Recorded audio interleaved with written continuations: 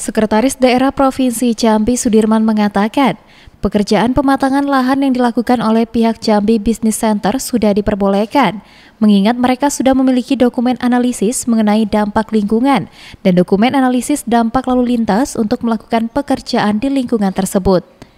Sekda menegaskan pihak JBC hanya dibenarkan melakukan pematangan lahan, namun untuk pekerjaan pembangunan gedung belum diperbolehkan, mengingat belum mengantongi izin pembangunan gedung dari Pemprov Jambi. Menanggapi permintaan Dewan untuk merevisi perjanjian kerjasama dengan pihak investor, Sekda Sudirman mengatakan Pemprov akan membahas bersama dengan instansi terkait.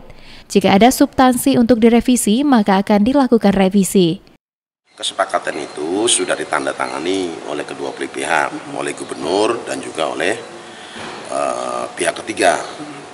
Jadi kalau misalnya apakah akan direvisi apa, apa tidak, nanti kita sama-sama lihat di, di, di substansi kesepakatannya itu, bagaimana cara merevisinya, ya. Jadi ukuran besar atau kecil ya relatif. Azam Masmi, Jambi TV.